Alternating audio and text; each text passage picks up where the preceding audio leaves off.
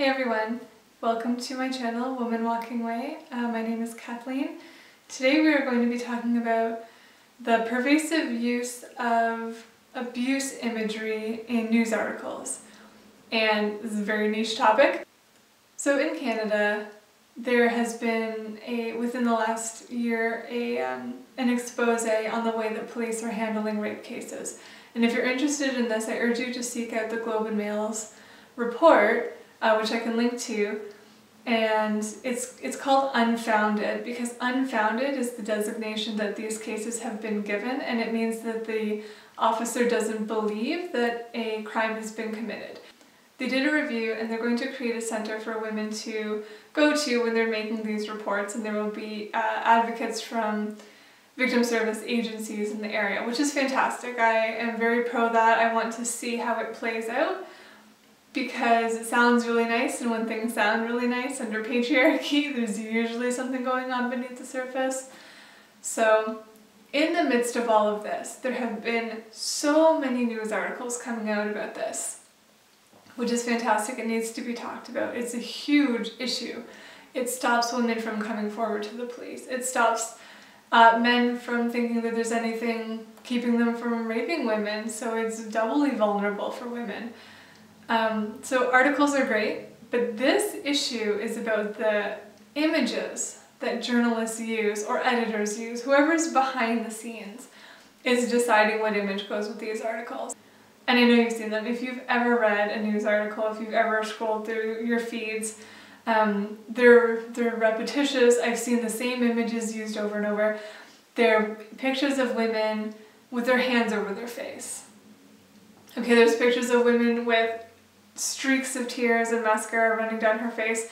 There's images where the woman's face isn't even in the picture, but it's her her hands and she's being grabbed by very distinctly male hands. Um, images where she's bound, where she's sitting, she's huddling in a corner crying, she's got her hands up to cover her face. Like, these are images where we are to understand that the abuse is happening right then in that moment. And I just want to talk about how dehumanizing that is to rape victims. To constantly see yourself as not just a victim, but as someone who is being victimized in that moment every time it brings you right back to your own experiences. And what breaks me is that there's no understanding or respect for how frequently women are victims of rape. So when you post an, an image like that to go with an article, you can pretty much guarantee that rape victims are going to see it I mean, okay, guaranteed rape victims are going to see it. How many?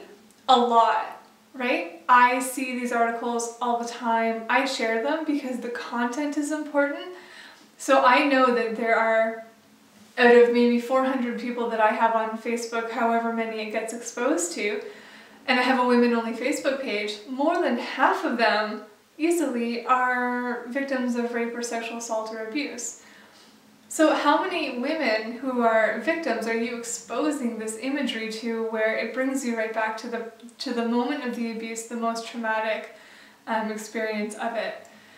And and I and I question what the purpose of it is, right? I I know why it's used. It's infantilizing, right? Like these these are images of women at their quote unquote weakest points, which gives no um, space for how strong these women actually are in these moments, but it's this culturally enforced image of weakness that we have of women, right? Huddling, cowering, crying, those are all things that we have attached to the idea of weakness. So is that an attempt to elicit sympathy for these women or like um, men will see it and feel protective and therefore something will be done? Is the intent really to try to garner support from men? Is it because images like this are titillating to the male gaze? Like, I know that's true. You only have to look at modern pornography to get that far, right? the images of women being harmed are ubiquitous in our culture and they're inextricably connected with sexualized images. We even have, um, you know, this this thing where we confuse women's cries of pain with women's cries of pleasure. Like you can hear on the TV a woman, you know, making her making high-pitched noises And you might wonder, is that woman being murdered or is that woman having an orgasm in porn, which would not be a real orgasm? So we have a confusion and a conflation with women's pain and women's pleasure. So when when men see these images, the first thing that comes to their mind is not this is a strong, powerful woman. This is a woman who can speak for herself. This is a woman who has uh, survived and a woman who has been through something that I'll probably never go through.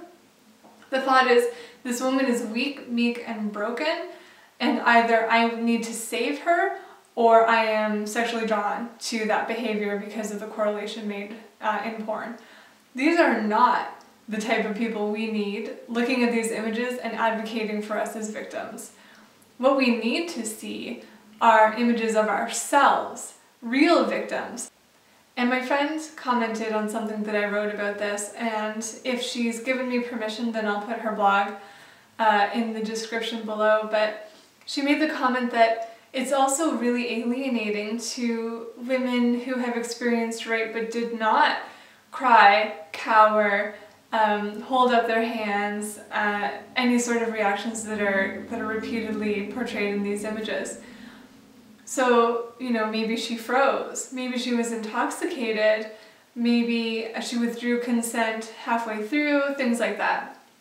So these are all very natural and normal responses, like the freezing, the shutting down. Um, those are natural responses to trauma. So what it does is suggest that there's one way to be a victim, and that's what it looks like. And if you don't do that, then you are not a victim. And this is obviously really negative in two ways. First of all, then you have women questioning, was I really raped? If there was no force, if, there, if he didn't grab me and hold me beyond what I could pull away from, if he didn't um, abuse me or terrorize me or make me cry, was it really rape? Am I really a victim? Do I even have a right to tell my story? And on the other hand, you have men getting the idea that all victims look like what these images portray, crying, um, cowering. And if she didn't do that, then it must not have been rape. So in two directions, you're harming women, right? You're creating a culture where, where men think that rape looks very specific and if they don't recognize it, then it's not rape. So they're going around raping women uh, and then not thinking it's rape or not caring. And then you have women questioning their own experiences. So this is obviously really layered and it's it's dehumanizing to constantly see a rape victim portrayed in the moment of her abuse uh, rather than afterward or maybe even beforehand before anything like that has happened to her or after when she's moved through and she's an advocate for other women or however her life has has changed for better or for worse but to constantly be bombarded with these images of women in the moment of abuse, I, I have to say, like, it's so offensive and it's so degrading and it's so harmful.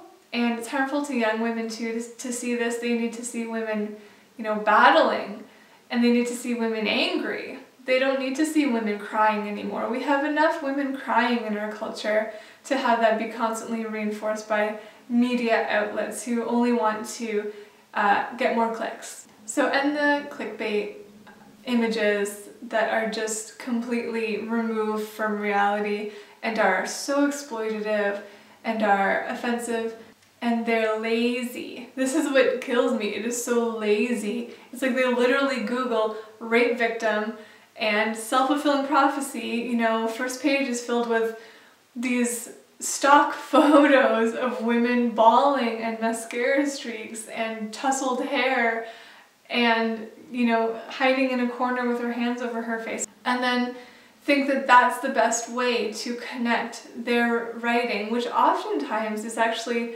about positive movements like the advocacy center that they're that they're starting uh, as a result of the unfounded cases here so, do we need that image? Is that helpful? Uh, who is that helping and who is it hurting?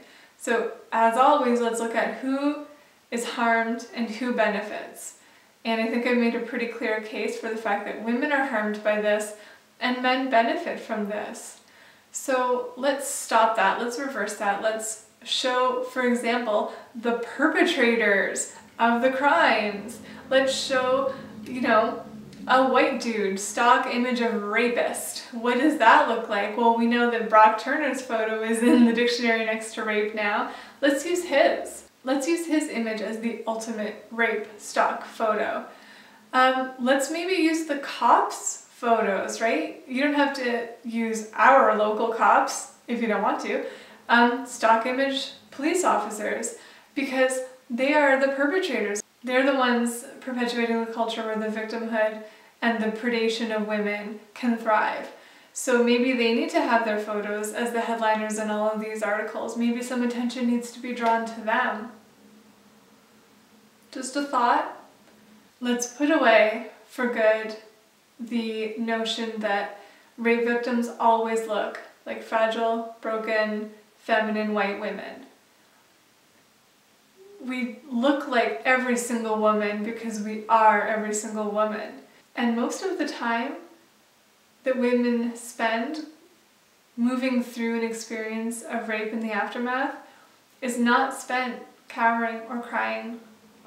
It's spent in strength, it's spent in survival, and it's spent in rising up. So let's show that. What are you so afraid of? Okay, thank you for watching this video and please subscribe to my channel. I'm having a Radical Feminist Literature giveaway at 500 subscribers, so get me there! Help me reach 500 subscribers. I think that would be awesome.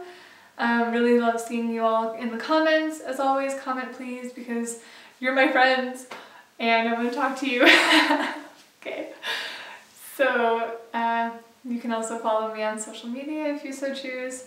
I'm on Twitter as Woman Walks Away and uh, Instagram as Woman Walking Away and you can check out my website womanwalkingaway.com.